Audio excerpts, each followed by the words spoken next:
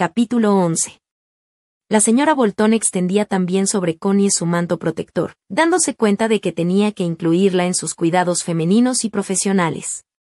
Siempre estaba asusando a su excelencia para que saliera a pasear, fuera en coche a White, le diera el aire. Porque Connie había adquirido la costumbre de sentarse en silencio ante la chimenea, fingiendo leer o coser un poco, sin salir casi nunca. Fue un día de viento, poco después de que Hilda se hubiera marchado, cuando la señora Boltón dijo, ¿por qué no sale usted a dar un paseo por el bosque y a ver los narcisos al otro lado de la casa del guarda? Es lo más hermoso que hay. Y puede traerse algunos para la habitación, los narcisos salvajes tienen siempre un aspecto tan alegre, ¿verdad? A Connie le pareció bien, incluso lo de salvajes en lugar de silvestres. Narcisos silvestres. Después de todo, no se podía vivir tan encerrada en sí misma. Venía la primavera. Volverán las estaciones, y a mí no vuelve el día, ni se acercan, dulces, la noche o la mañana. Y el guardabosque, con su cuerpo fino y blanco como el pistilo solitario de una flor invisible. Había llegado a olvidarle en su indescriptible depresión. Pero ahora había algo que despertaba. Pálido, más allá del umbral y la puerta. Había que traspasar umbrales y puertas. Estaba más fuerte, podía andar mejor, y en el bosque el viento no era tan fatigante como había sido su azote. Al atravesar el parque. Quería olvidar, olvidar el mundo y toda aquella gente horrible con cuerpo de carroña. Has de nacer de nuevo. Creo que el cuerpo resucita. A no ser que el grano caiga a tierra y muera, volverá a germinar sin duda. Cuando brote el azafrán, también yo me alzaré y veré el sol. Al viento de marzo, un desfile infinito de versos recorrió su mente. Pequeñas ráfagas de sol iban y venían, con una extraña brillantez, iluminando los ranúnculos de los confines del bosque, bajo los avellanos, con una luminosidad amarilla.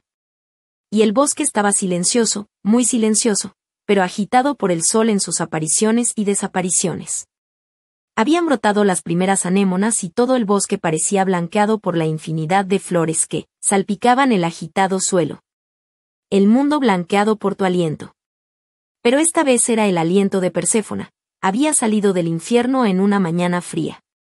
Llegaban ráfagas de aire frío y arriba se oía la furia del viento enredado en las ramas. También el viento se sentía atrapado y trataba de liberarse como Absalón. Qué frío parecían tener las anémonas alzando sus hombros blancos y desnudos sobre el miriñaque de una falda de verdor, pero lo aguantaban. Junto al sendero también las primeras prímulas desvaídas y capullos amarillos que se abrían. Arriba el furor del viento y el temblor de las ramas, abajo solo las frías corrientes. Connie se sentía extrañamente excitada en el bosque, le vino el color a las mejillas y ardía el azul de sus ojos. Avanzaba con dificultad, recogiendo algunas prímulas y las primeras violetas de un olor dulce y frío, dulce y frío. Y vagabundeó sin saber dónde estaba. Hasta llegar al claro, al final del bosque, y ver la casa de piedra con verdín, de un aspecto casi rosado como la carne bajo la copa de una seta, con la cantería templada por un rayo de sol. Y había un brillo de jazmín amarillo junto a la puerta, la puerta cerrada. Pero ni un ruido, la chimenea sin humo, ningún ladrido de perro. Fue en silencio hacia la parte trasera, donde se alzaba el terraplén, tenía una excusa, ver los narcisos. Y allí estaban aquellas flores de tallo corto, doblándose, balanceándose y temblando, tan brillantes y vivas, sin poder ocultar sus caras al volverlas de espaldas al viento. Sacudían sus brillantes y soleados harapos en ataques de malestar. Pero quizás les gustaba realmente, quizás disfrutaban con el castigo. Cansten se sentó con la espalda contra un pino de pocos años que se apretaba contra ella con una extraña vida, elástico, fuerte y erecto. Aquella cosa rígida y viva con la copa al sol. Y veía los narcisos teñirse de amarillo en un rayo de sol que calentaba su regazo y sus manos. Olía incluso el ligero y alquitranado aroma de las flores. Y luego, tan tranquila y solitaria, le pareció que ella misma se zambullía en la corriente de su propio destino había estado sujeta. Por una cuerda, dando tumbos y bandazos como una barca fija a las amarras, ahora estaba libre y a flote. La luz del sol se dio al frío, en la sombra los narcisos se doblaban silenciosamente. Así permanecerían todo el día y a lo largo de la fría noche, tan fuertes en su fragilidad. Se levantó algo rígida, cortó algunos narcisos y comenzó a bajar. No le gustaba cortar las flores, pero quería una o dos que le hicieran compañía. Tendría que volver a Bragby y sus muros y ahora no podía soportarlo, especialmente los gruesos muros. Muros. Siempre muros. Y sin embargo eran necesarios con aquel viento. Cuando llegó a casa, Clifford le preguntó, ¿A dónde has ido? Atravesando el bosque. Mira los pequeños narcisos. ¿No son adorables? Y pensar que salen de la tierra. Y del aire y del sol, dijo él. Pero están modelados en la tierra, replicó ella, llevándole la contraria con tanta rapidez que se sorprendió un poco. A la tarde siguiente volvió al bosque. Siguió el amplio sendero que culebreaba entre los alerces hasta llegar a una fuente llamada Jones Well. Hacía frío en aquella ladera de la colina y no crecía ni una flor a la sombra de los alerces. Pero el helado manantial brotaba de su lecho de guijarros limpios, de un blanco rojizo. Tan frío y tan claro. Brillante. El guarda nuevo había colocado allí sin duda guijarros limpios. Escuchó el leve tintineo del agua que rebosaba lentamente y resbalaba por la pendiente incluso por encima del rumor silbante del bosque de alerces que extendía su oscuridad erizada, sin hojas, loguna, sobre la pendiente, se oía el susurro de pequeñas campenites de agua. Aquel lugar era un poco siniestro, frío, húmedo. Y sin embargo el manantial debía haber sido un sitio de aguada durante cientos de años. Ahora ya no lo era. El pequeño claro que lo rodeaba era verde, frío y triste. Se levantó y se dirigió lentamente hacia casa. Al andar oyó un débil golpeteo a la derecha y se detuvo a escuchar. ¿Era un martillo o un pájaro carpintero? Era seguramente un martillo. Siguió andando mientras escuchaba. Y entonces advirtió un caminillo entre abetos jóvenes, un paso que no parecía llevar a ningún lado. Pero se dio cuenta de que alguien había pasado por allí. Se metió por él a la aventura, entre los densos abetos que pronto dejaron lugar al viejo bosque de robles. Siguió el sendero, y el martilleo se fue acercando en el silencio que el viento dejaba en el bosque. Los árboles producen silencio incluso en medio del ruido del viento. Vio un claro reducido y oculto y una pequeña cabaña escondida hecha de troncos rústicos. Nunca había estado allí antes. Se dio cuenta de que era el lugar tranquilo donde se cuidaban las crías de Faisán, el guardabosque, en camisa, estaba arrodillado martillando. La perra avanzó corriendo con un ladrido corto y agudo y el guarda levantó los ojos repentinamente y la vio. Tenía una expresión de sobresalto. Se puso derecho y saludó, observándola en silencio mientras ella avanzaba con menos y menos aplomo. No le gustaba la intrusión, apreciaba su propia soledad y su única y última libertad en la vida.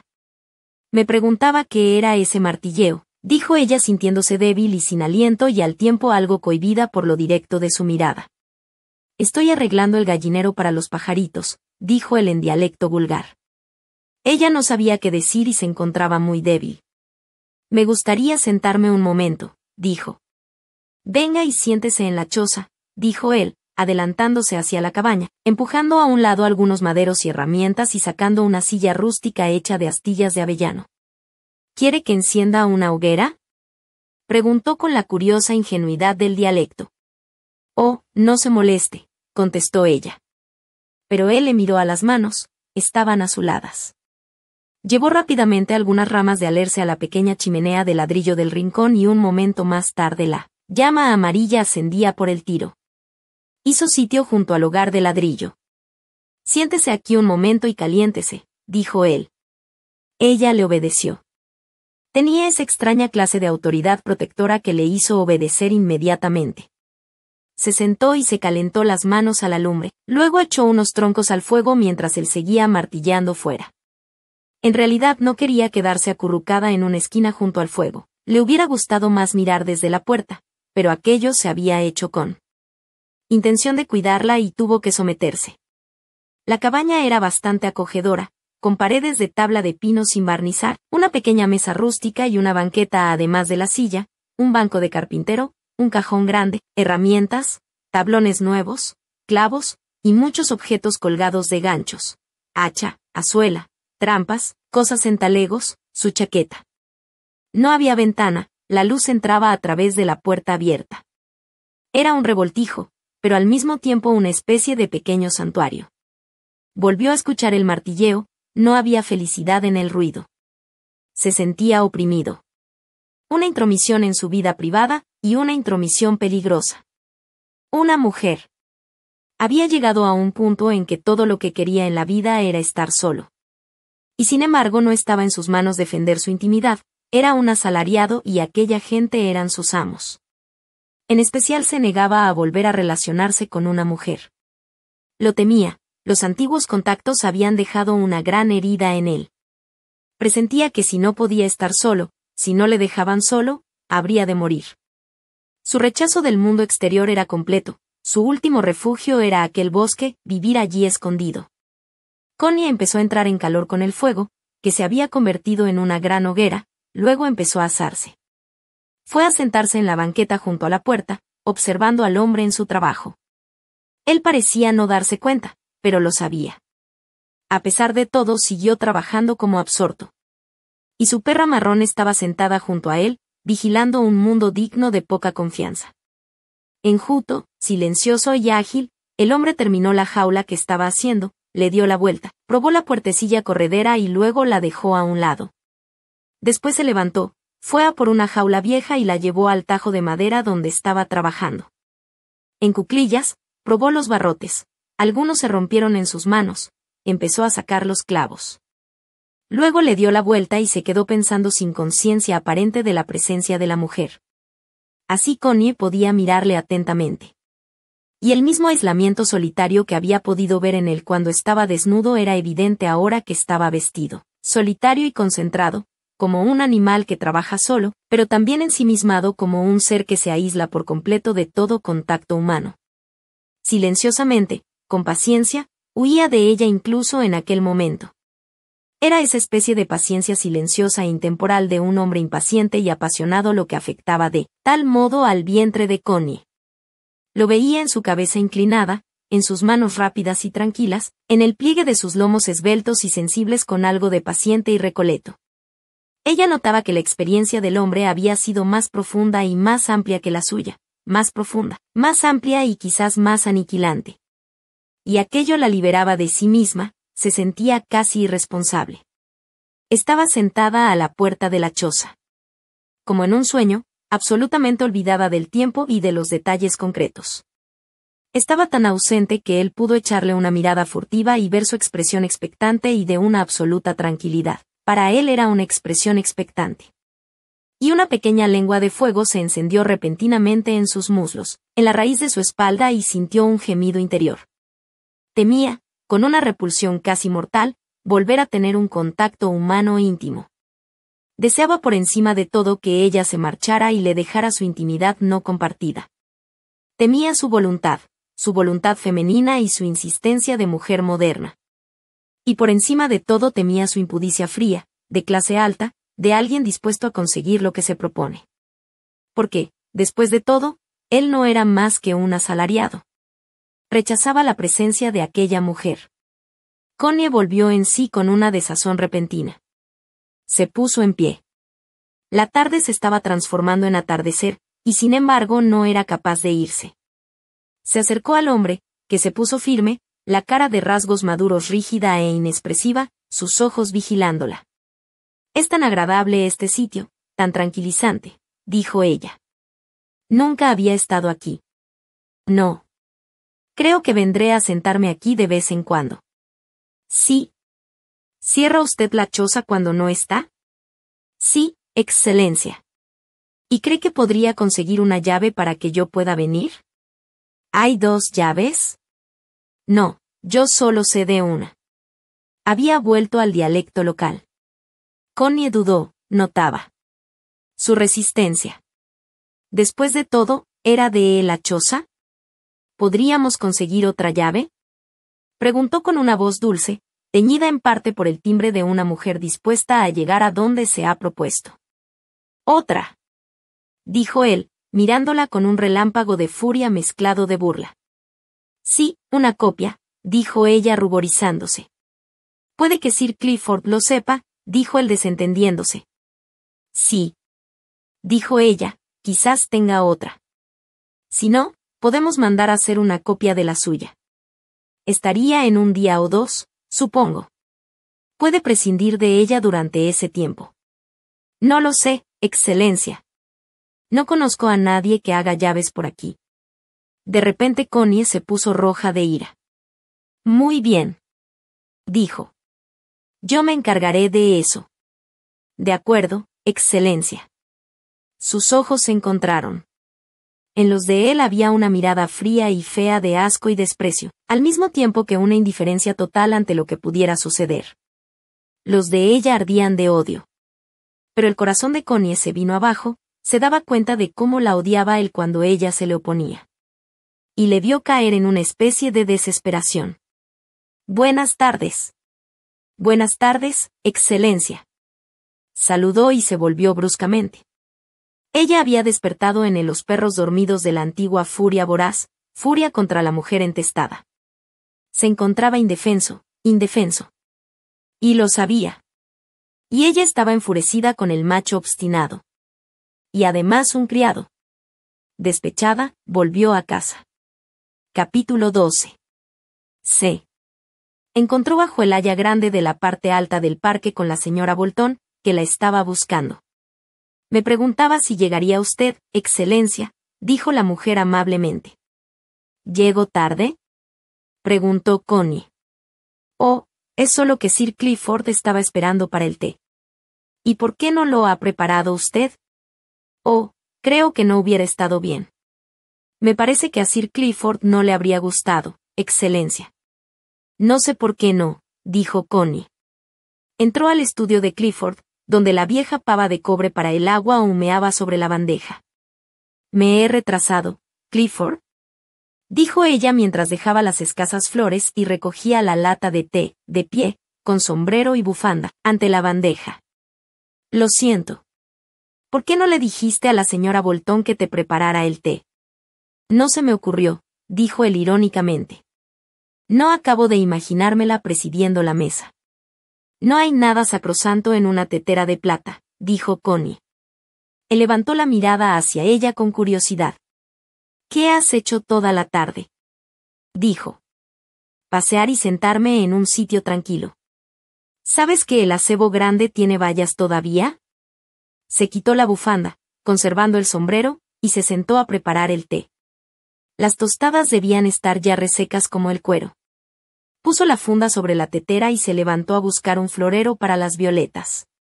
Las pobres flores colgaban alicaídas de sus tallos.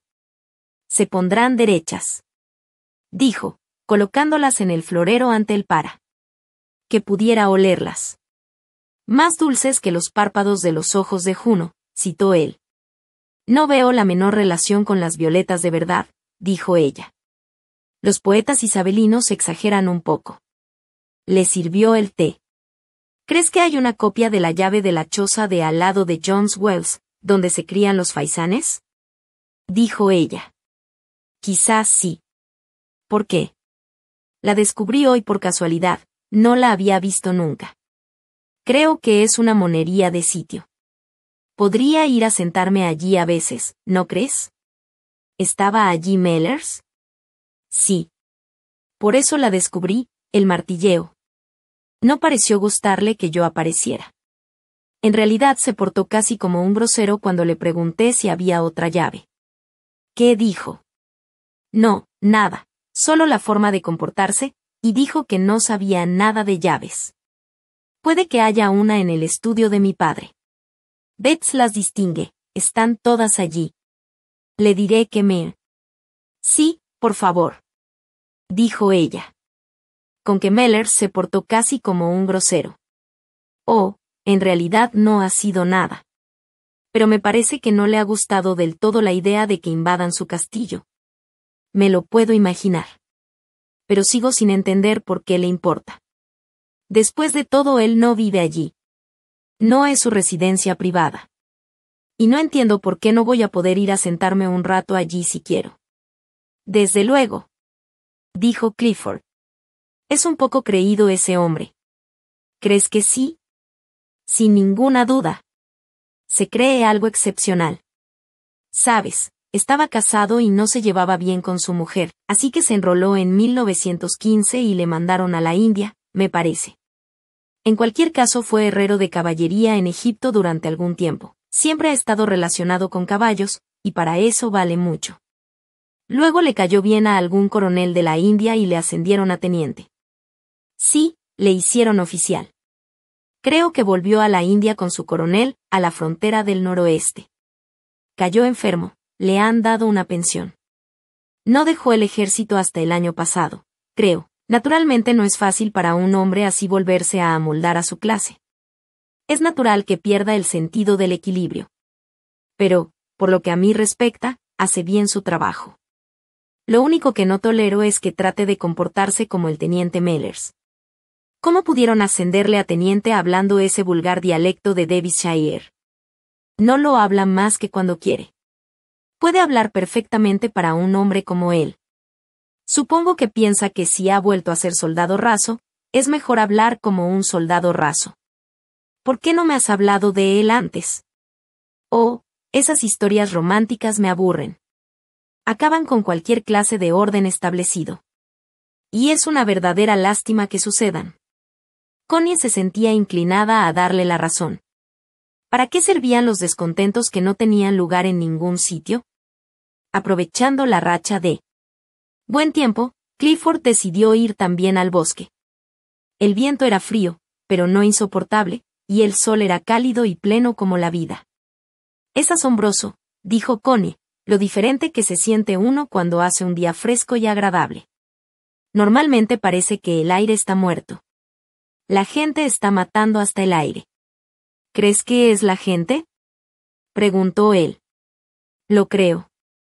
Los vapores de tanto aburrimiento, tanto descontento y tanta ira matan la vitalidad del aire. Estoy segura. Quizás sea que algo que haya en la atmósfera disminuya la vitalidad de la gente, dijo él. No, es el hombre el que envenena el universo, aseguró ella. Pudre su propio nido, señaló Clifford. La silla de motor avanzaba traqueteante. En el macizo de avellanos colgaban los amentos de un color dorado pálido, y en los lugares a donde llegaba el sol, las anémonas silvestres estaban abiertas, como proclamando la alegría de vivir, como en los buenos tiempos en que la gente podía hacer lo mismo que ellas. Soltaban un ligero aroma de flor de manzano. Connie recogió algunas para Clifford. Él las tomó y las observó con curiosidad. Tú, esposa aún inviolada de la calma, citó. Parece más apropiado para las flores que para las urnas griegas. Inviolada es una palabra tan horrorosa dijo ella. Solo la gente es capaz de violar cosas. No sé, no sé. Los caracoles y tal, dijo él. Incluso los caracoles lo único que hacen es comérselas, y las abejas no violan. Estaba enfurecida con él por su manía de transformarlo todo en palabras. Las violetas eran los párpados de Juno, y las anémonas esposas invioladas. Como odiaba las palabras, siempre interponiéndose entre ella y la vida, ellas violaban, si es que algo lo hacía, palabras y frases hechas, sorbiendo la savia de todo lo vivo. El paseo con Clifford no podía llamarse un éxito. Había entre él y Connie una tensión que ambos pretendían ignorar, pero que estaba allí. Repentinamente, con toda la fuerza de su instinto femenino, ella le rechazaba. Quería librarse de él, y especialmente de su egoísmo, de sus palabras, de su obsesión por sí mismo, de su inacabable obsesión de Noria por sí mismo y sus propias palabras. El tiempo volvió a ser lluvioso. Pero después de un día o dos ella salió, a pesar de la lluvia, y se dirigió al bosque. Una vez allí fue hacia la choza. Llovía, pero no hacía demasiado frío y el bosque emanaba silencio y recogimiento, inaccesible en la neblina de la lluvia. Llegó al claro. No había nadie. La choza estaba cerrada con llave, pero se sentó en los escalones de troncos bajo el porche rústico y se arrebujó en su propio calor. Así permaneció sentada, mirando la lluvia y escuchando sus muchos sonidos silenciosos y los extraños lamentos del viento en las ramas superiores, a pesar de que no parecían moverse. Los viejos robles la rodeaban con sus troncos grises, potentes, ennegrecidos por la lluvia, redondos y vitales. Llenos de audaces brotes nuevos. El terreno no era abundante en maleza, las anémonas brotaban, había un matorral o dos de saúco o bola de nieve y una maraña púrpura de zarzamoras. El canela viejo de los helechos desaparecía casi bajo los collarines verdes de las anémonas. Quizás era aquel uno de los lugares inviolados. Inviolados. El mundo entero estaba violado.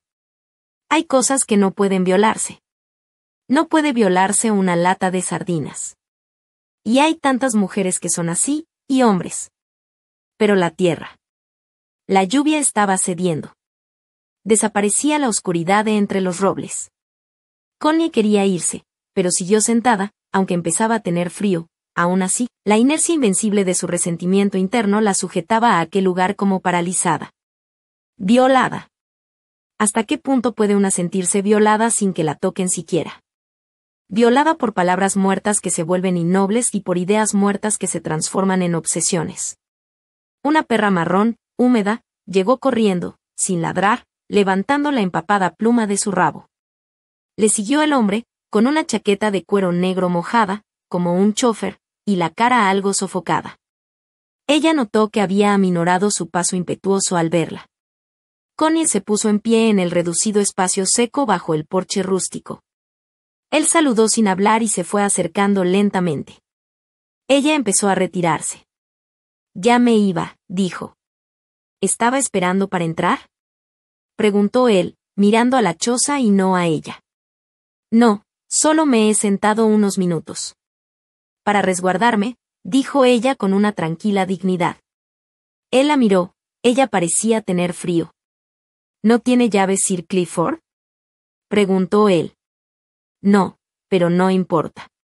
Puedo resguardarme perfectamente bajo el porche. Buenas tardes. Le disgustaba que utilizara siempre el dialecto. Él la observó con detenimiento mientras se alejaba. Luego se levantó la chaqueta y metió la mano en el bolso del pantalón, sacando la llave de la choza. Entonces es mejor que se quede con esta llave. Ya encontraré otro nido para los pájaros. Ella le miró. ¿Qué quiere decir? Preguntó. Quiero decir que puedo buscar otro sitio que valga para criar los faisanes. Si quiere usted venir aquí, no le gustará que yo le esté estorbando todo el tiempo. Ella le miró, tratando de comprenderle entre las brumas del dialecto. ¿Por qué no habla usted inglés normal? Dijo fríamente. Yo. Creía que era normal, contestó en dialecto. Ella enmudeció un momento, enfurecida. Si quiere la llave, será mejor que la coja. O quizás será mejor que se la de mañana y saque todos los cacharros. ¿Le parece bien? Ella se enfureció aún más. No quiero su llave, dijo. No quiero que saque nada. No se me ha ocurrido ni por un instante echarle de su choza, gracias. Solo quería poder venirme a sentar aquí alguna vez, como hoy. Pero puedo sentarme perfectamente bajo el porche, así que se acabó. Él volvió a mirarla con sus ojos azules, perversos. Bueno, comenzó él en su dialecto lento y vulgar. Su Excelencia puede disponer con gusto de la choza, de la llave y de todo como está. Lo único es que en esta época del año hay que atender a las crías, y yo tengo que venir muchas veces y cuidarlas y todo eso. En invierno no necesito venir aquí casi nunca. Pero ahora es primavera y Sir Clifford quiere que se críen los faisanes. Y su excelencia no querrá que yo la ande molestando todo el tiempo cuando ella venga a descansar. Ella le escuchaba con un ligero matiz de asombro. ¿Y por qué iba a importarme que esté usted aquí? preguntó. Él la miró con curiosidad. Por el estorbo. Dijo cortante pero de modo significativo. Ella se ruborizó. Muy bien. Dijo ella finalmente. No le molestaré. Pero no creo que me hubiera importado verle trabajar con los faisanes. Hasta me hubiera gustado. Claro que si usted cree que eso le impide trabajar, no voy a molestarle, no tenga miedo. Es usted el guarda de Sir Clifford, no el mío. La frase sonaba fuera de lugar, no sabía por qué. Pero la pronunció. No, excelencia. La choza es de su excelencia. las cosas serán como quiera su excelencia, en cualquier momento. Puede usted despedirme cuando quiera con una semana de preaviso. Era solo que, ¿qué qué? Preguntó ella desconcertada. Él se echó el sombrero atrás de una forma extrañamente cómica. Solo que quizás a usted le gustara disfrutar sola de este sitio cuando viniera, sin que yo anduviera estorbando. Pero. ¿Por qué? dijo ella con enfado. ¿No es usted un ser humano civilizado? ¿Cree que debo asustarme de usted? ¿Por qué iba a fijarme en usted y en si está aquí o no? ¿Qué importancia tiene? La miró con una cara resplandeciente de risa malvada. Ninguna, excelencia. Absolutamente ninguna importancia, dijo. Entonces, ¿por qué? preguntó ella. ¿Desea entonces su excelencia que le consiga otra llave? No, gracias. No la quiero. La mandaré a hacer de todas maneras. Es mejor tener dos llaves de la cerradura. Creo que es usted un insolente, dijo Connie, subida de color y jadeando levemente. No, no. Dijo él apresuradamente. No diga usted eso. No, no. No quería decir nada. Solo pensaba que si usted venía aquí tendría que sacar las cosas, y es un trabajo enorme instalarse en otra parte. Pero si su excelencia no va a fijarse en mí, entonces, la choza es decir Clifford y todo se hará como quiera su excelencia, como a su excelencia le guste y desee, siempre que a su excelencia no le importe que yo esté haciendo las cosas que tengo que hacer.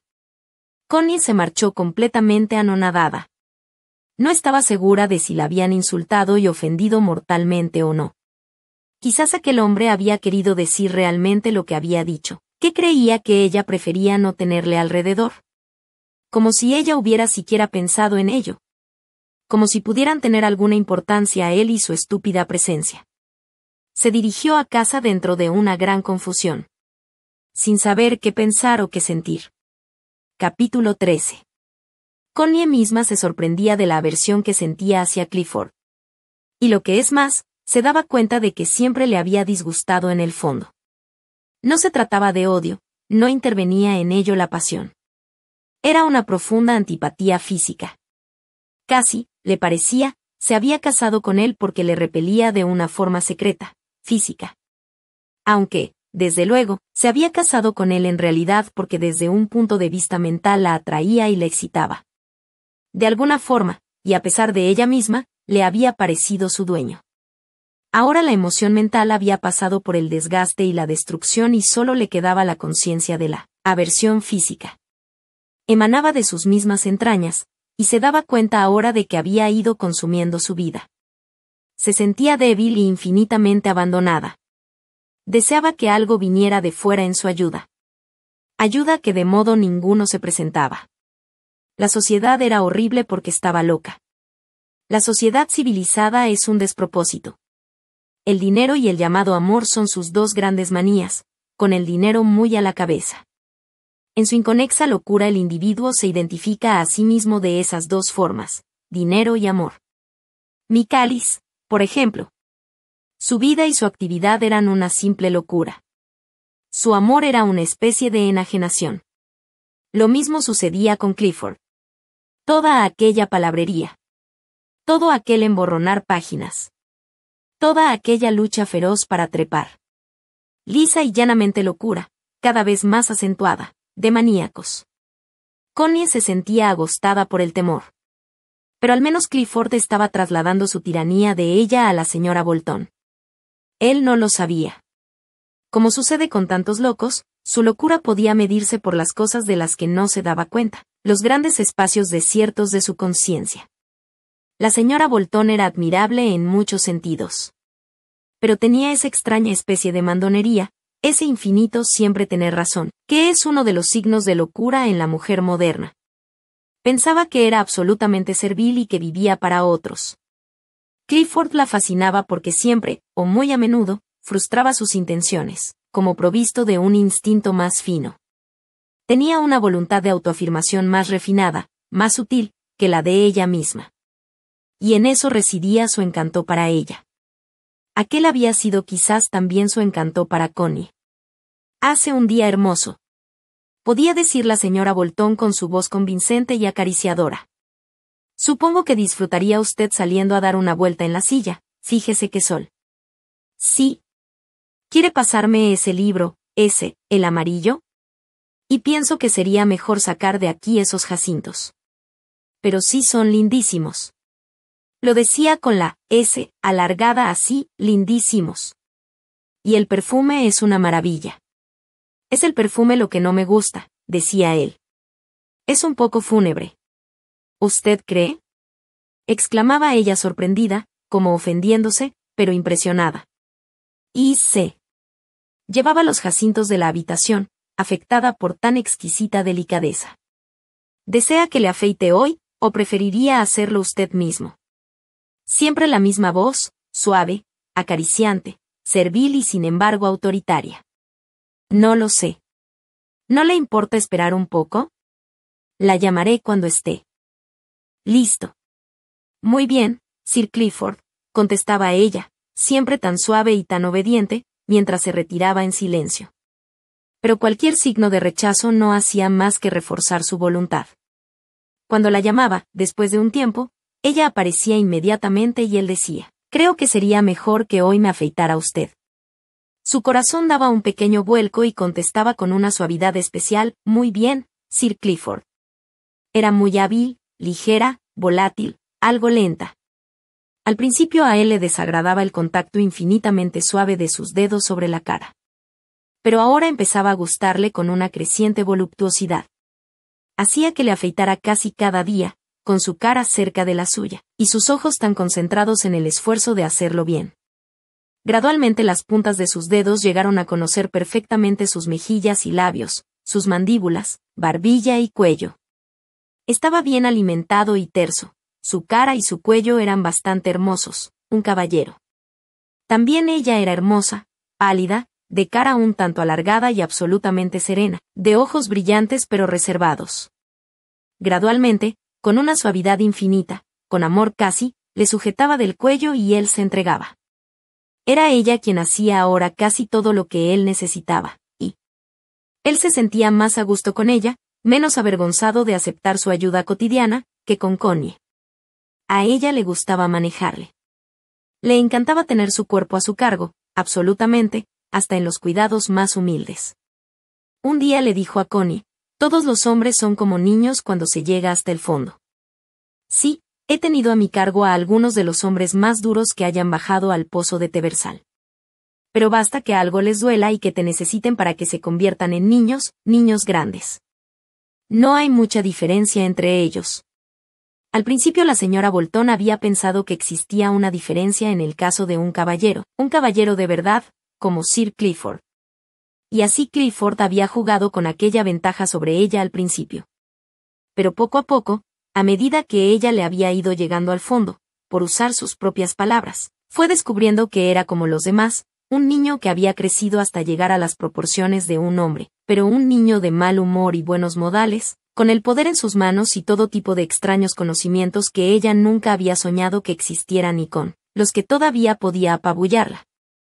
A veces Connie sentía la tentación de decirle, por Dios, no te dejes dominar tan terriblemente por esa mujer. Pero a la larga se daba cuenta de que él ya no le importaba tanto como para decírselo. Seguían teniendo la costumbre de pasar juntos las últimas horas del día, hasta las diez. Hablaban, leían juntos o repasaban lo que estaba escribiendo. Pero ya no había ninguna emoción en ello. Sus escritos la aburrían. Pero ella seguía pasándoselos a máquina, aunque con el tiempo la señora Bolton se ocuparía incluso de aquello. Porque Connie le había sugerido que aprendiera a escribir a máquina. Y la señora Bolton, siempre dispuesta, había comenzado inmediatamente y practicaba con asiduidad. De modo que ahora Clifford le dictaba de vez en cuando una carta y ella la copiaba, lentamente pero sin faltas.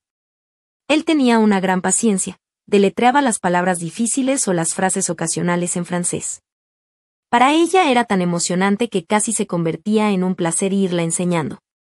Connie a veces se quejaba de dolor de cabeza como excusa para retirarse a su habitación después de la cena.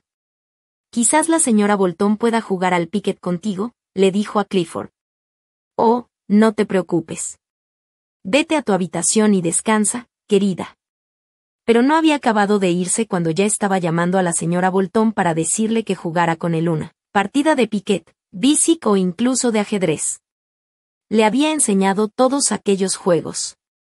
Y a Connie le parecía curiosamente rechazable ver a la señora Boltón, ruborosa y temblando como una niña, tocando una reina o un rey con los dedos inseguros y retirando la mano de nuevo, mientras Clifford sonreía levemente con una superioridad medio en broma y decía.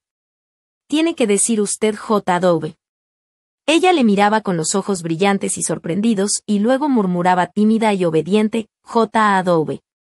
Sí, la estaba educando. Aquello le divertía y le daba una sensación de fuerza y ella estaba emocionada. Estaba llegando poco a poco a poseer todos los conocimientos de la aristocracia, todo lo que les convertía en clase alta, aparte del dinero. Aquello la encantaba. Y al mismo tiempo estaba haciendo que él deseara tenerla allí haciéndole compañía. Era un halago sutil y profundo para él, el auténtico encanto que emanaba de ella. Para Connie, Clifford parecía estarse manifestando bajo su verdadero aspecto, algo vulgar, algo común y falto de inspiración, más bien gordete. Los trucos de Ivy Bolton y su humilde autoritarismo eran también demasiado evidentes. Pero Connie se maravillaba de la auténtica emoción que Clifford producía en aquella mujer. Decir que estaba enamorada de él no hubiera sido exacto. Estaba deslumbrada por el contacto con un hombre de clase alta, aquel caballero con título, aquel autor que podía escribir libros y poemas y cuya foto aparecía en la prensa ilustrada. Aquello despertaba en ella una extraña pasión. Y el que la estuviera, educando, despertaba en ella una apasionada emoción y una reacción mucho más profunda que cualquier relación amorosa. En realidad el hecho mismo de la imposibilidad de una relación amorosa la dejaba libre para vibrar hasta la médula con aquella otra pasión, la pasión específica de saber, saber cómo él sabía. No cabía duda alguna de que la mujer estaba de alguna forma enamorada de él, demos la fuerza que demos a la palabra amor. Su aspecto era hermoso y joven y sus ojos grises eran a veces maravillosos. Al mismo tiempo había en ella una satisfacción sosegada y latente, casi triunfante e íntima. Uf, aquella satisfacción íntima. Como la despreciaba Connie pero no era extraño que Clifford se hubiera dejado atrapar por la mujer. Ella le adoraba absolutamente, de forma constante, y se ponía absolutamente a su servicio para que hiciera con ella lo que quisiera. No era extraño que se sintiera halagado. Connie escuchaba largas conversaciones entre los dos. Aunque más bien era la señora Boltón la que hablaba siempre. Ella había sacado a la palestra la larga cadena de cotilleo sobre el pueblo de Teversal. Era más que cotilleo. Eran la señora Gaskell, George Lyot y la señorita Mitford en una sola persona, con muchas otras cosas que aquellas mujeres se habían dejado en el tintero. Una vez que empezaba a hablar, la señora Bolton era mejor que cualquier libro sobre la vida de la gente. Los conocía a todos tan íntimamente y sentía un interés tan ardiente y tan peculiar por todos sus asuntos, que era maravilloso escucharla, si bien algo humillante. Al principio no se había atrevido a pasar lista a Teversal, como ella decía, ante Clifford. Pero una vez que hubo comenzado, siguió adelante. Clifford escuchaba en busca de material y lo encontró en abundancia. Connie se dio cuenta de que su supuesto genio no era más que eso, un notable talento para la murmuración, inteligente y aparentemente desinteresado. La señora Boltón, desde luego, era muy explícita cuando pasaba lista a Teversal. De hecho se entusiasmaba y era maravilloso las cosas que sucedían y todo lo que ella sabía al respecto. Podría haber llenado docenas de volúmenes. A Connie le fascinaba escucharla. Pero luego se sentía algo avergonzada. No debería escuchar con aquella extraña y ávida curiosidad. Después de todo, uno puede escuchar las cosas más íntimas de otra gente, pero siempre con un espíritu de respeto hacia esa cosa convulsiva y apaleada que es cualquier alma humana, y con un espíritu de simpatía delicada y personal. Porque incluso la sátira es una forma de simpatía. Es la forma en que nuestra simpatía fluye y refluye lo que realmente determina nuestras vidas. En esto reside la enorme importancia de la novela cuando el tratamiento es el adecuado. puede informarnos y trasladar a nuevos lugares el curso de nuestra conciencia solidaria, o puede hacer que nuestra simpatía se repliegue como rechazo a las cosas que han muerto. Por eso la novela, con un tratamiento adecuado, puede poner al descubierto los recovecos más secretos de la vida, porque son los lugares pasionalmente secretos de la vida, por encima de todo, los que la marea de la conciencia sensible debe cubrir y dejar al descubierto, limpiar y refrescar. Pero la novela, como el cotilleo, puede también excitar simpatías y rechazos ilícitos, mecánicos y letales para la mente. La novela puede glorificar los sentimientos más corrompidos, siempre que sean convencionalmente puros. En ese caso la novela, como la maledicencia, acaba estando viciada y, como la maledicencia, tanto más viciada en cuanto que siempre está de modo ostensible del lado de los ángeles. El cotilleo de la señora Boltón siempre estaba del lado de los ángeles. Él era un hombre tan malo, y ella una mujer tan buena. Mientras que, como Connie podía ver, incluso deduciéndolo de las habladurías de la señora Boltón, la mujer había sido simplemente una bocazas y el hombre un bruto honesto. Pero la brutalidad honesta le convertía en un hombre malo, y la charlatanería la hacía a ella una buena mujer, en la forma convencional y viciada que la señora Boltón tenía de canalizar sus simpatías. Por esta razón el cotilleo era humillante. Y por la misma razón la mayoría de las novelas, especialmente las populares, son humillantes también. Actualmente el público responde solo positivamente cuando se apela a sus vicios. En cualquier caso, a través de las charlas de la señora Boltón se adquiría una nueva visión de Teversal. Era como un terrible crisol de sordideces, y no en absoluto esa llanura gris que parecía desde fuera Clifford. Desde luego, conocía de vista a la mayoría de la gente de que se hablaba. Connie solo conocía a uno o dos. Pero realmente parecía más un recuento de la jungla centroafricana que de un pueblo inglés. Supongo que ya han oído que la señorita Alsop se casó la semana pasada. Imagínense. La señorita Alsop, la hija del viejo James Alsop, el zapatero. Ya saben que se hicieron una casa en Pycroft. El viejo se murió el año pasado después de una caída, tenía 83 años y estaba fuerte como un chaval. Pero se cayó en Bestwood Hill por la pista de nieve que los chicos habían hecho el invierno pasado y se rompió la cadera. Eso acabó con él, pobre hombre, una verdadera pena. Bueno, pues le dejó todo el dinero a Tati, ni una perra para los chicos. Y Tati, yo lo sé, tiene cinco años más, sí, hizo 53 el otoño pasado. Y ya saben que eran muy de iglesia, pero mucho. Ella había enseñado la catequesis los domingos durante 30 años, hasta que murió su padre. Y entonces empezó a aliarse con uno de Kimbrook, no sé si le conocen ustedes, uno ya mayor, con la nariz roja, muy señorito, Will Cook, que trabaja en el aserradero de Harrison. Bueno, pues o tiene 65 años o no tiene ninguno, pues viéndolos así, cogiditos del brazo, dándose el pico en la puerta, parecían una pareja de tórtolos. Sí, y ella sentada en sus rodillas en la ventana que da a la calle de Pycroft, que los podía ver todo el mundo. Y él tiene hijos de más de 40 años, solo hace dos años que se murió su mujer. Sí, él. Viejo James Alsop no se ha levantado de su tumba es porque los muertos no resucitan porque la tenía amarrada bien corto. Ahora se han casado y se han ido a vivir a Kimbrook, y dicen que ella se pasea en salto de cama de la mañana a la noche, hecha una visión.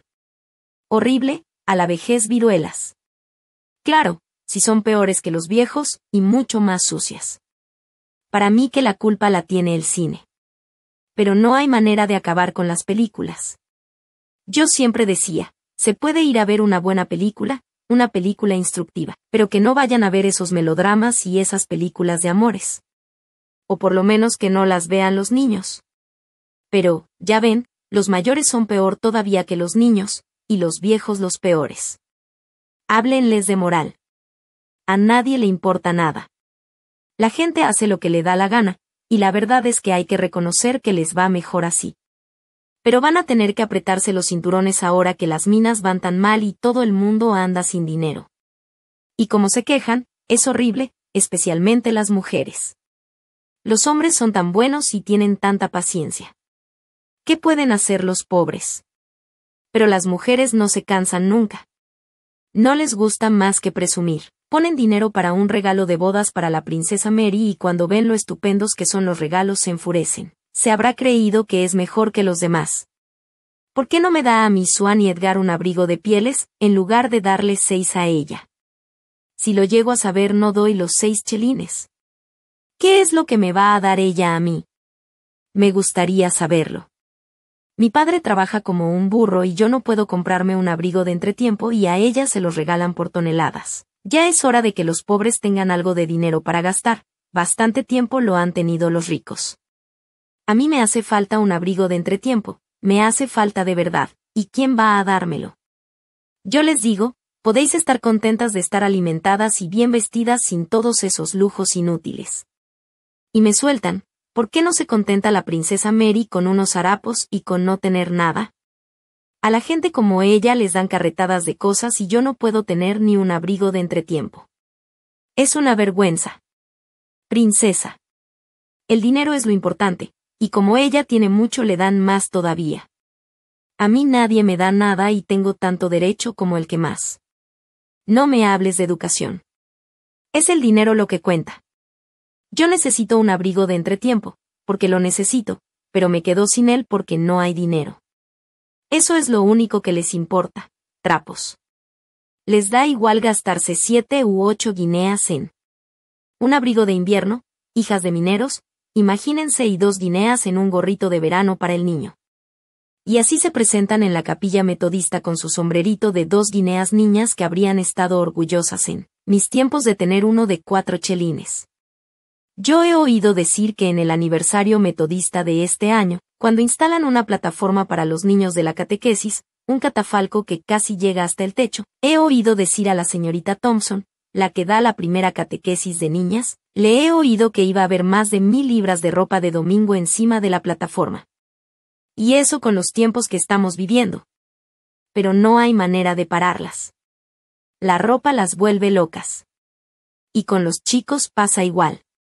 Se gastan hasta la última perra, ropa, tabaco, bebidas en la cantina de la Asociación de Mineros y una escapada a Sheffield dos o tres veces a la semana. ¿Cómo ha cambiado el mundo? Los jóvenes no tienen miedo a nada ni respetan nada.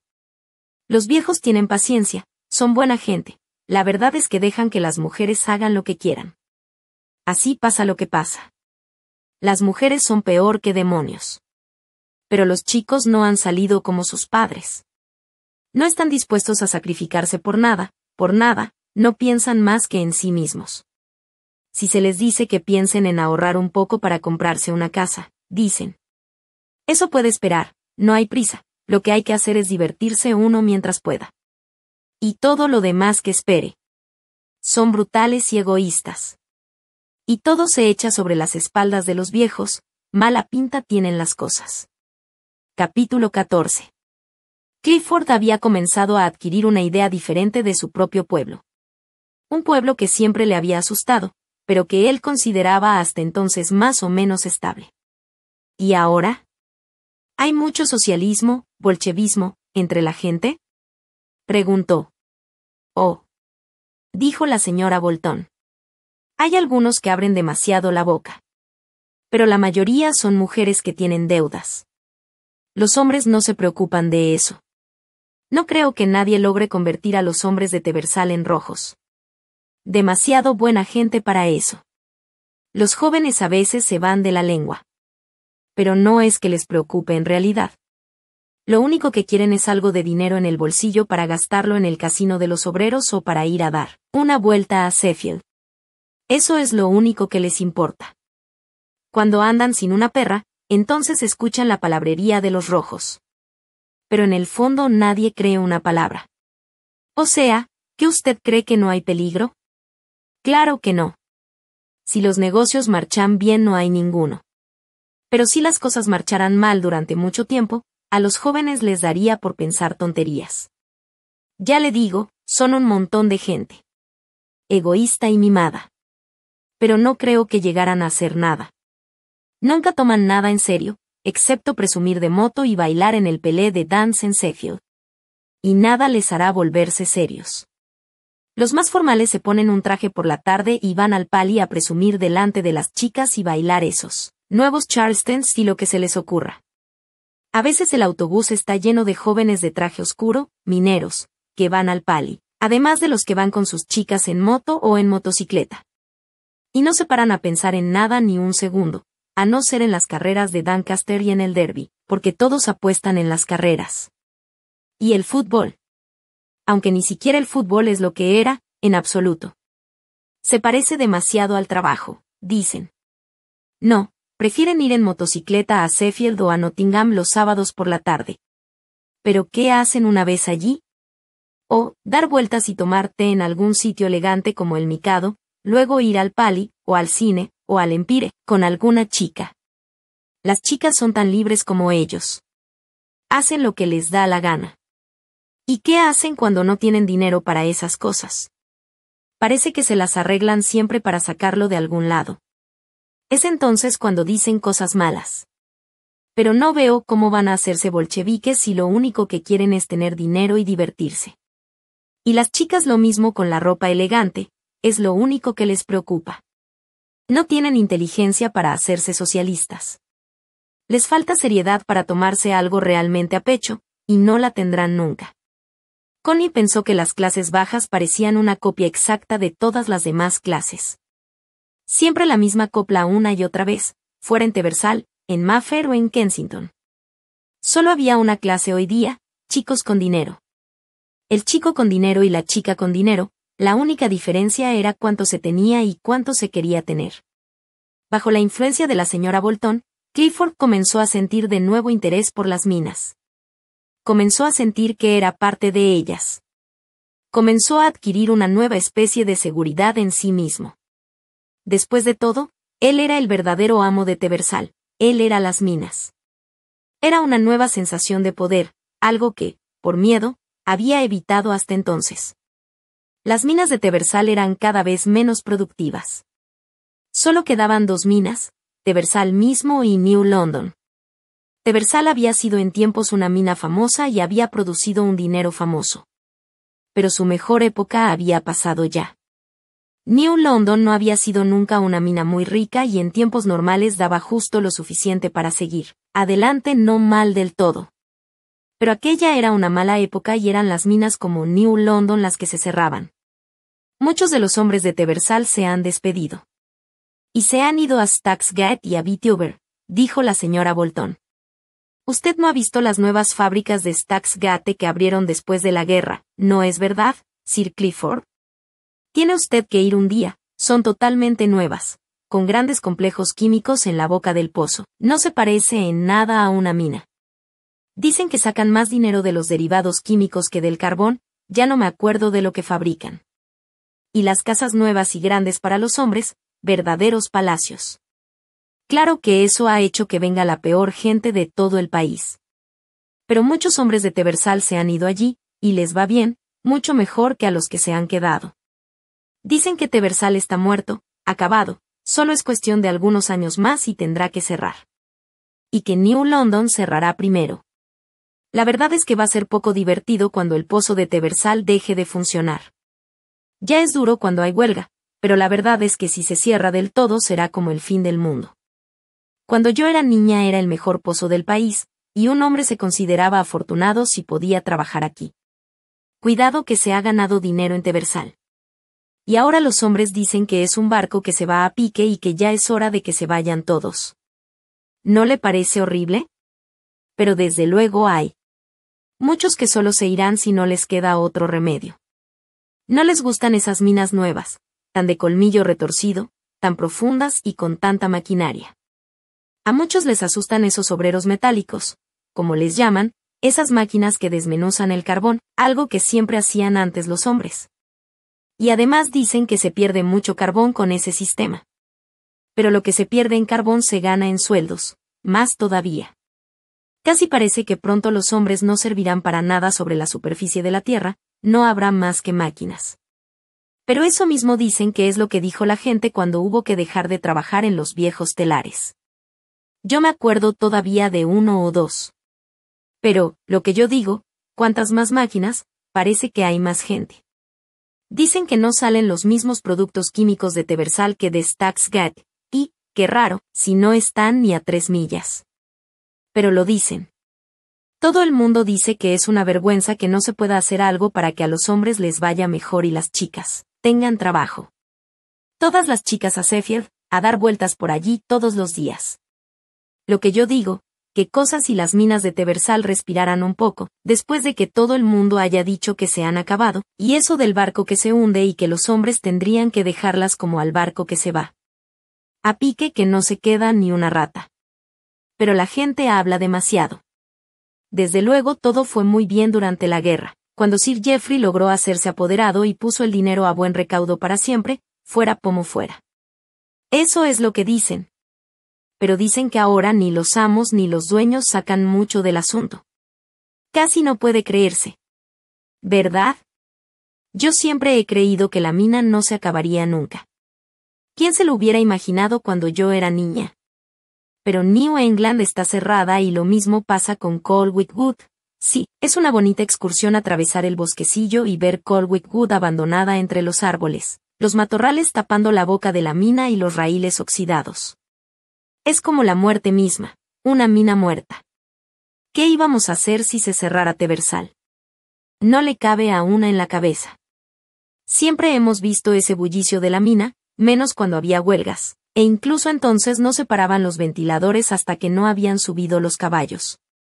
La verdad es que el mundo es una locura, nunca se sabe qué va a pasar al año siguiente, no hay manera de saberlo.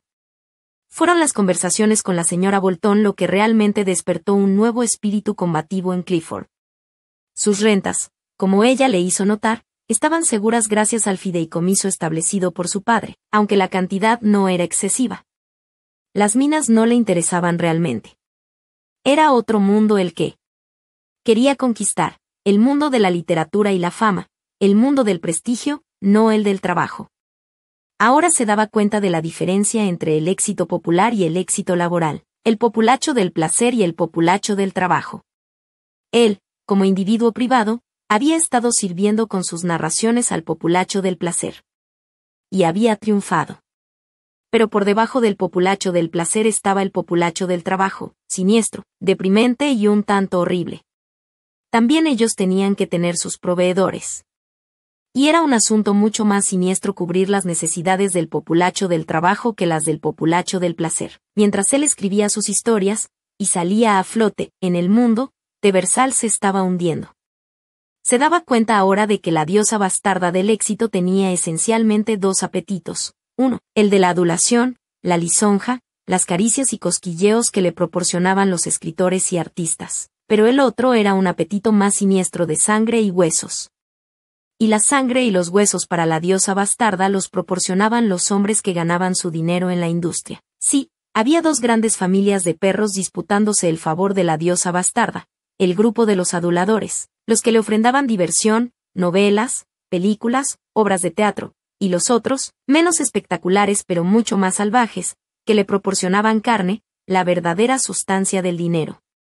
Los perros exhibicionistas y bien educados de la diversión se disputaban entre mutuos ladridos los favores de la diosa bastarda.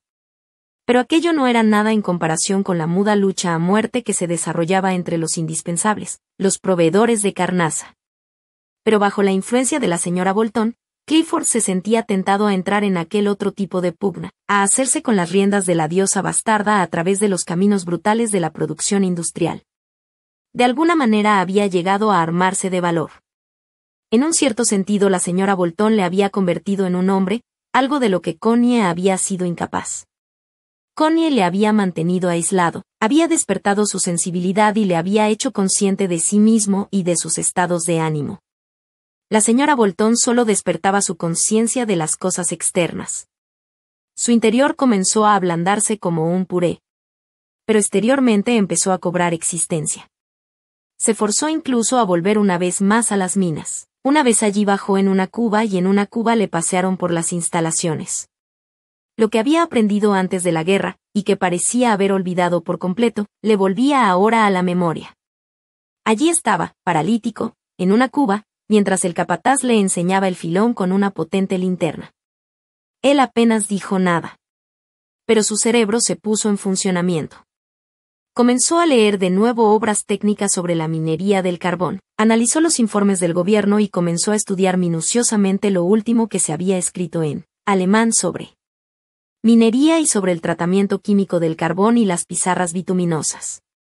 Naturalmente, los descubrimientos más valiosos se mantenían en secreto todo el tiempo posible pero una vez que se adentraba uno en el campo de la minería del carbón, en el estudio de métodos y procedimientos, en el análisis de los subproductos y las posibilidades químicas del carbón, eran asombrosos el ingenio y la casi misteriosa inteligencia de la moderna mentalidad técnica, como si realmente el demonio mismo hubiera prestado una inteligencia maligna a los científicos técnicos de la industria. Aquella ciencia técnica industrial era muchísimo más interesante que el arte, más que la literatura, materias puramente afectivas y faltas de contenido.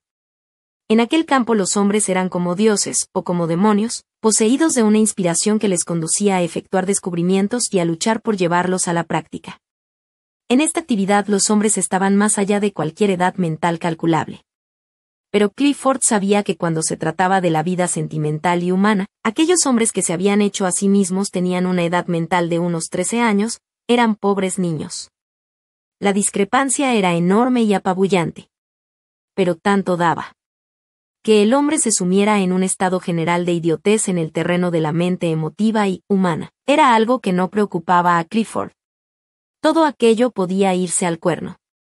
Lo que le interesaba era el aspecto técnico de la moderna minería del carbón y sacar a Teversal del agujero. Bajaba al pozo día tras día, estudiaba, sometía al director general, al director técnico de superficie y al de las galerías, a los ingenieros, a una presión que no habían imaginado antes. Poder. Un nuevo sentido del poder se había apoderado de él, poder sobre todos aquellos hombres, sobre los cientos y cientos de mineros. Descubría y descubría, y poco a poco tomaba el control en sus manos. Parecía haber nacido realmente de nuevo. La vida penetraba en él. Conconia había ido gradualmente muriendo en la vida privada y aislada del artista, del ser consciente. Ahora todo aquello podía desaparecer, dormir. Sentía que la vida le salía al encuentro desde la mina, desde el carbón. El mismo aire pútrido de la mina era para él mejor que el oxígeno. Le daba un sentido de fuerza, de poder. Estaba haciendo algo e iba a hacer algo.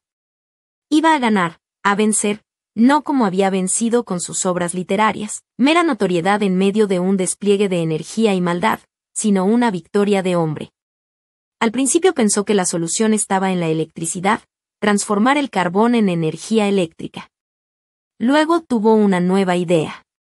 Los alemanes habían inventado una nueva locomotora con un motor que se autoalimentaba y no necesitaba fogonero y había que suministrarle un nuevo combustible que ardía a gran temperatura en pequeñas cantidades bajo determinadas condiciones. La idea de un nuevo combustible concentrado que ardía con una enorme lentitud a temperaturas altísimas fue lo que primero atrajo a Clifford. Tenía que haber alguna especie de estímulo externo para la combustión de un aceite así, algo más que la simple provisión de aire comenzó a experimentar y contrató a un joven inteligente que había demostrado su brillantez en el campo químico, para que le ayudara. Y tuvo la impresión de haber triunfado. Por fin había logrado salir de su encerramiento. Había logrado su anhelo de toda la vida, salir de sí mismo. El arte no había sido capaz de lograrlo. Más bien había agravado la situación. Pero ahora lo había conseguido, no era consciente de lo mucho que la señora Boltón estaba tras él. No sabía lo mucho que dependía de ella. Pero, con eso y con todo, era evidente que cuando estaba con ella su voz descendía a un agradable ritmo de intimidad, casi ligeramente vulgar. Con Connie se manifestaba un tanto embarado. Se daba cuenta de que le debía todo, absolutamente todo, y le mostraba el mayor respeto y consideración, siempre que ella le manifestara un simple respeto externo. Pero era evidente que sentía un temor interno ante ella. El nuevo Aquiles que se había despertado en él tenía un talón vulnerable, y en aquel talón la mujer, una mujer como Connie, su mujer, podía infligir una herida fatal. Sentía ante ella un miedo casi servil que le hacía extremar la cortesía. Pero su voz se derrotaba un tanto cuando hablaba con ella y empezó a mantenerse en silencio cuando ella estaba presente, únicamente. Cuando estaba a solas con la señora Bolton se sentía realmente amo y señor, y su voz se hacía tan fluida y dicharachera como la de ella misma. Y dejaba que ella le afeitara o le limpiara todo el cuerpo con una esponja como si fuera un niño, realmente como un niño. Capítulo 15. Connie estaba a menudo sola ahora. Venían menos visitas a Bragby. Clifford ya no las quería. Rechazaba incluso al círculo de los íntimos. Era un ser extraño. Había llegado a preferir la radio que había instalado con no poco gasto y que había llegado a conseguir que funcionara bastante bien. A veces lograba oír Madrid o Frankfurt incluso allí, en la atmósfera turbulenta de los Midlands. Y se quedaba sentado durante horas escuchando los chirridos del altavoz. Para Connie era algo asombroso y desconcertante. Pero él permanecía sentado allí con una expresión vacía, en trance, como alguien que saliera de sí mismo para escuchar, o parecer escuchar, lo innombrable. ¿Escuchaba realmente? ¿O era para él una especie de soporífero que tomaba mientras algo diferente cosía en su interior? Connie no lo sabía. Se refugiaba entonces en su habitación o fuera, en el bosque. Una especie de terror le asaltaba a veces, terror a la incipiente locura de toda la especie civilizada. Pero ahora que la corriente le llevaba a Clifford a aquella otra enfermedad de la actividad industrial, transformándose casi en un engendro, con un caparazón exterior de dureza y eficacia y un interior pastoso, uno de los increíbles entollos y langostas del moderno mundo industrial y financiero, invertebrado del orden de los crustáceos, con conchas de acero, como máquinas, y un interior blandengue y gelatinoso, Connie misma se sentía totalmente a la deriva. Ni siquiera era libre, porque Clifford tenía que tenerla allí. Parecía sentir un horror nervioso a que ella le abandonara. Su parte extrañamente gelatinosa, su parte sentimental y emocionalmente humana, dependía de ella con terror, como un niño, casi como un idiota. Tenía que estar allí, allí en Bradby, una Lady Chatterley, su mujer. De otra forma se sentiría perdido, como un idiota en un terreno pantanoso. Connie se dio cuenta de aquella inconcebible dependencia con una especie de pánico. Ella le oía hablar con los directivos de la mina, con los miembros de su consejo de administración, con los jóvenes científicos, y le asombraba su hábil captación de las cosas, su fuerza, su asombroso poder material sobre lo que se llama gente práctica. Él mismo se había convertido en un hombre práctico, uno asombrosamente astuto y lleno de poder, un amo. Connie lo atribuía a la influencia de la señora Bolton sobre él en el momento más crítico de su vida. Pero aquel hombre astuto y práctico era casi un idiota cuando se quedaba a solas con su vida sentimental. Adoraba a Connie. Era su mujer, un ser superior, y la adoraba con una idolatría extraña y cobarde, como un salvaje, una idolatría basada en un enorme miedo, y un odio incluso, al poder del ídolo, el temido ídolo. Lo único que quería era que Connie jurara que no le abandonaría, que no renunciaría a él. Clifford, dijo ella, una vez que tuvo en su poder la llave de la choza, ¿de verdad te gustaría que tuviera un hijo alguna vez? Él la miró con una inquietud furtiva en sus ojos un tanto prominentes y pálidos. No me importaría si eso no cambiara las cosas entre nosotros, dijo él. ¿No las cambiara en qué? dijo ella. Entre tú y yo, en el amor que nos tenemos. Si va a afectarnos en eso, entonces estoy en contra. Sin contar con que hasta es posible que un día yo mismo pudiera tener un hijo. Ella le miró desconcertada. Quiero decir que eso, podría volverme uno de estos días. Ella siguió mirándole desconcertada y él se sintió incómodo. ¿Entonces no te gustaría que tuviera un hijo? dijo ella. Ya te he dicho, contestó él inmediatamente, como un perro acorralado, que estoy totalmente dispuesto, siempre que eso no afecte a tu amor por mí. Si lo afectara estoy decididamente en contra. Connie pudo solo mantenerse en silencio con un frío temor y desprecio. Aquella manera de expresarse parecía más bien el balbuceo de un imbécil. Clifford ya ni siquiera sabía de qué hablaba. Oh, no cambiaría en nada mis sentimientos hacia ti, dijo con un cierto sarcasmo. Eso es. Dijo él. Eso es lo importante. En ese caso no me importa. En absoluto. Quiero decir que sería una maravilla tener un niño corriendo por la casa, y saber que se está construyendo un futuro para él. Entonces tendría algo por lo que luchar, y sabría que se trata de tu hijo, ¿no es verdad, querida? Y sería lo mismo que si fuera mío. Porque lo que importa eres tú en esas cosas. Eso ya lo sabes, ¿no es cierto, querida? Yo no cuento para nada, no soy más que un número. Tú eres el gran yo, por lo que se refiere a la vida. Y eso lo sabes, ¿no? Quiero decir, por lo que a mí respecta. Quiero decir que si no es por ti y para ti, yo no soy absolutamente nada. Vivo por ti y por tu futuro. Yo mismo no soy nada. Connie le escuchaba con un creciente desánimo y repulsión. Aquella era una de las siniestras verdades a medias que envenenan la existencia humana. ¿Qué hombre sensato se atrevería a decir aquellas cosas a una mujer? Pero los hombres carecen de sentido. ¿Qué hombre con un resquicio de sentido del honor habría echado aquella siniestra carga de responsabilidad ante la vida sobre los hombros de una mujer, para dejarla luego allí, en el vacío? Y aún más, media hora después Connie oyó a Clifford hablando con la señora Bolton, con una voz excitada e impulsiva, mostrándose con una especie de pasión desapasionada ante la mujer, como si fuera mitad su amante, mitad su madre adoptiva.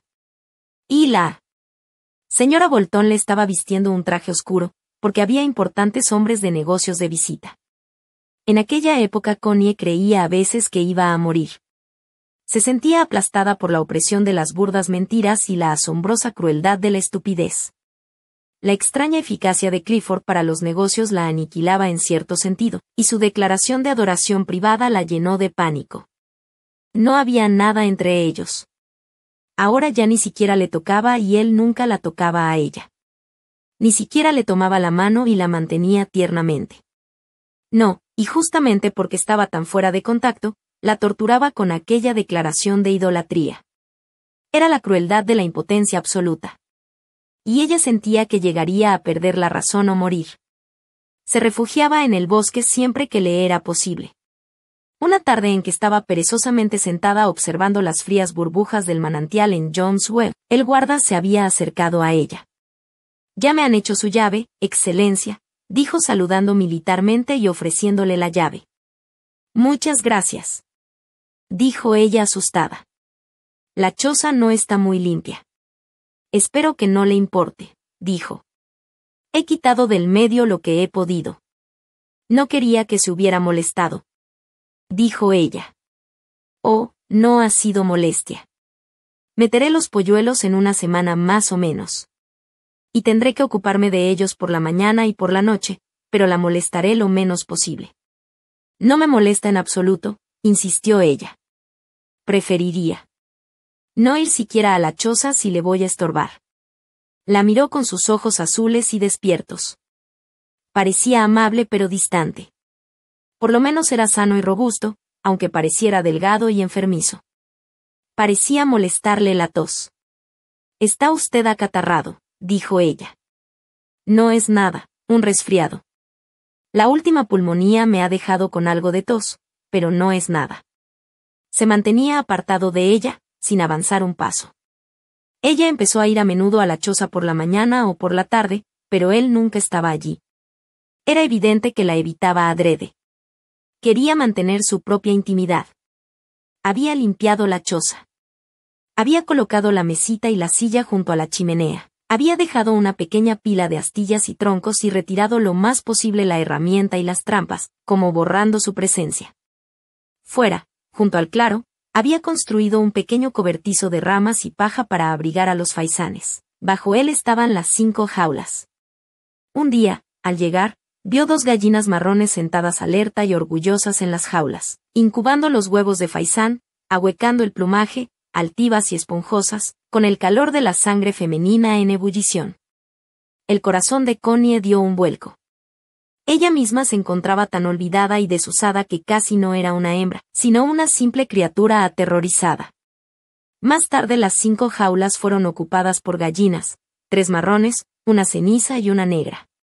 Todas ellas, de la misma manera, se apretaban sobre los huevos con la suave languidez del instinto femenino, de la naturaleza femenina, ahuecando las plumas. Observaban con ojos brillantes a Connie cuando se agachaba ante ellas, y emitían un cacareo de alarma y furor, aunque era esencialmente la ira de la hembra cuando alguien se le acerca. Connie encontró grano en un arcón de la choza. Se lo ofreció a las gallinas en la palma de la mano. No querían comerlo. Solo una de ellas se lanzó sobre la mano con un picotazo feroz que asustó a Connie. Pero tenía un enorme deseo de dar algo a aquellas madres incubadoras que ni comían ni bebían. Les llevó agua en una latita y le llenó de placer ver cómo bebía una de las gallinas. Empezó a ir todos los días a verlas, eran lo único en el mundo que daba algo de calor a su corazón. Las aseveraciones de Clifford la dejaban fría de pies a cabeza. La voz de la señora Boltón la dejaba fría y lo mismo sucedía con los hombres de negocios que les visitaban. Alguna carta espaciada de Micalis producía en ella el mismo efecto de frialdad. Se sentía morir si aquello duraba mucho más tiempo. Sin embargo, era primavera y las campanillas comenzaban a abrirse en el bosque y los pimpollos de los avellanos brotaban como una ducha de lluvia verde. Qué cosa tan horrible que fuera primavera y todo estuviera helado, sin corazón. Solo las gallinas, maravillosamente cluecas sobre los huevos, emitían. El calor de sus cuerpos femeninos creando nueva vida. Connie se sentía perennemente a punto de perder el sentido. Luego, un día, un maravilloso día de sol lleno de grandes manojos de prímulas bajo los avellanos, y cantidades de violetas punteando los senderos, se acercó por la tarde a las jaulas y había allí un polluelo minúsculo y descarado pavoneándose en torno a una de las jaulas, con la gallina madre cacareando de horror. El polluelo era de un marrón ceniciento con marcas oscuras y era el pedacito de criatura más vivo sobre la faz de la tierra en aquel momento. Connie se agachó para observarlo en una especie de éxtasis. Vida, vida. Vida pura, burbujeante, libre de miedos. Vida nueva.